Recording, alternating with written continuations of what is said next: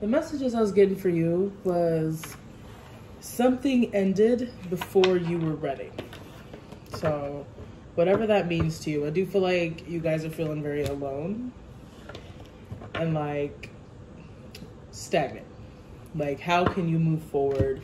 What can you do to move forward? And it's almost like I feel like what did end for you was supposed to, even though it is hard.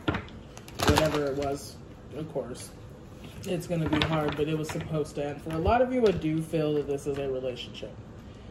Uh, maybe a long-term relationship that like just ended, and maybe I don't know. It's almost like you know it's for the best, but it's still hard. So I do apologize as well for the late reading. Uh, my office was under construction, so. For those of you interested in a personal reading, go check out my website at swordstarot.com to look at my different readings options over there. Also, be sure to go check out the new merch at swordstarotmerch.com. I have a lot of super cute stuff over there for you guys to check out. So, without further ado, let's go ahead and just get into the video. What is the energy surrounding Gemini?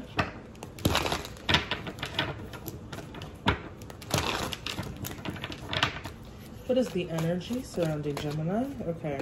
Ooh, also, what I was getting for you guys, um, there is someone that is going to try to return, or somebody that has tried to return. So, we do have the Eight of Wands, the Five of Wands, and the Ace of Cups. So, yeah, there's definitely a conflict. Um, I feel like a lot of fighting, a lot of arguing. The Eight of Wands can be a lot of text fighting as well. Maybe you and this person are going back and forth um, in a text war. um, but Ace of Cups energy. This could be new love for some of you guys, or this could be issues in love. Maybe um, whether this is a past person or somebody new that you're dealing with, um, or someone that's fairly new in your life. Um, something's not going right. Knight of Wands energy. This person may be very immature. I don't know why my cat likes to sleep on the desk, but I do feel like now you're just, I'm not sure if there's going to be a future Okay.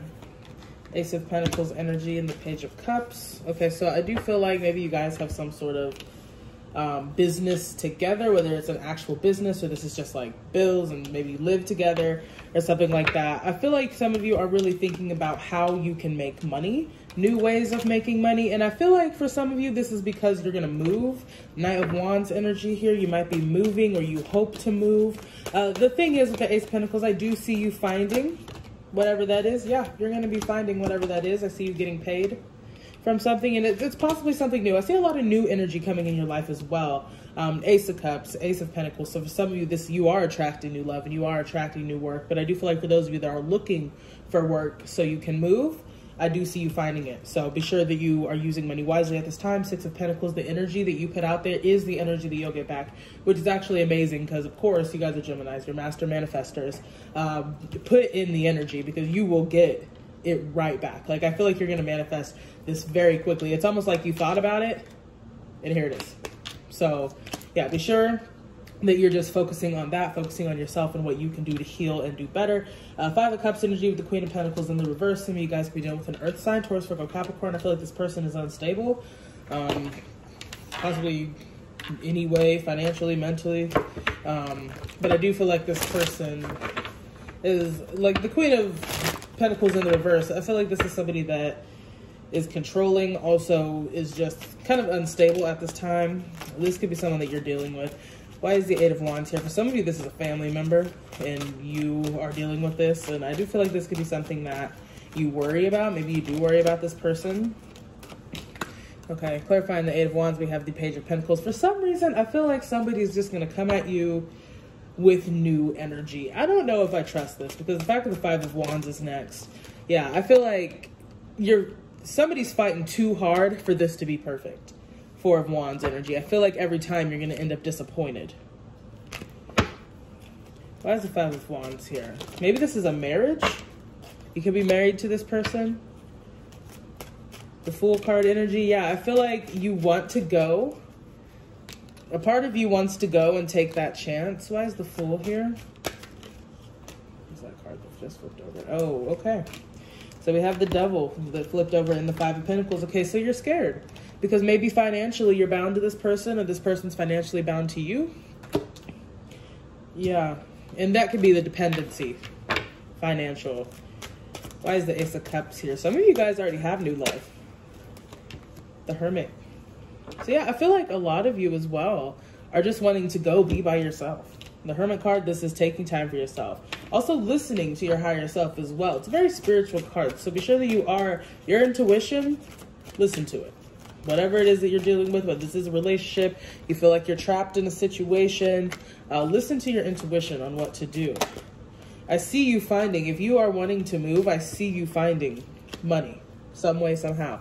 Clarifying the Knight of Wands, we have the King of Cups in the reverse. So yeah, I feel like you do fear that, you know, it would be I mean, it's emotional. I definitely feel like this is emotional for you because you do love this person, but you know that they're they're trapping you. Like you know their control. It's like you know the right thing to do in this situation. Clarifying the Three of Wands, we have the King of Swords and the Magician. So do know if you make this right decision, you're going to come out so strong. King of Swords, very strong in your energy. The Magician, manifesting literally everything that you want. I mean, you guys know how to make shit happen manifesting whatever you want. Money flowing in, new opportunities flowing in, but you've got to make the right decision. I see you juggling in your head like, okay, it's not going to get better. Like I said, so, someone's fighting too hard, and maybe it's you. Someone's fighting too hard to make this work or to change this person. This person's not going to change. So, yeah, clarifying the Page of Cups, we have the strength in the reverse. You are strong enough to get through this. Ace of Pentacles, see?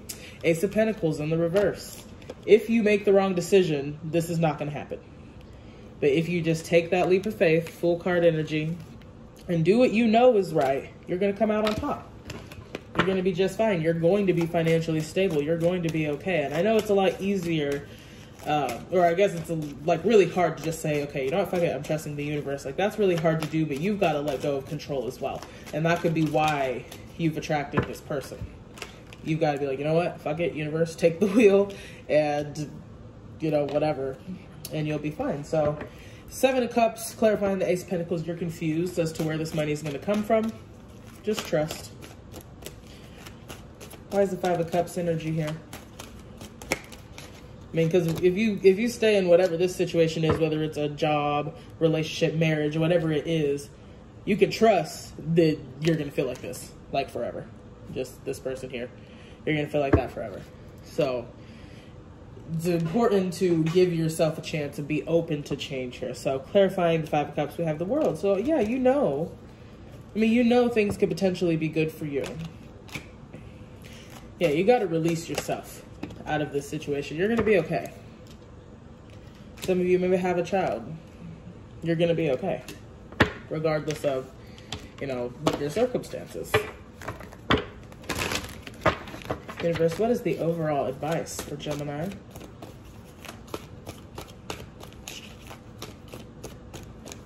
What is the overall advice for Gemini? Okay.